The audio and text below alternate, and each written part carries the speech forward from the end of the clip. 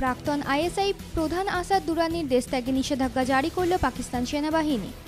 সম্প্রতি আফগানিস্তান ও কাশ্মীরে পাক সেনার ভূমিকা নিয়ে the spy ক্রনিকলসে ISI and the illusion of peace নামক একটি বই লেখেন তিনি। গত সপ্তাহে বইটি প্রকাশিত হওয়ার সঙ্গে সঙ্গেই বিতর্কের ঝড় ওঠে পাকিস্তান জুড়ে। এরপরেই তার বিরুদ্ধে সেনাবাহিনীর কোড অফ কন্ডাক্ট ভাঙার অভিযোগ তোলে পাকিস্তান সেনা বিভাগ।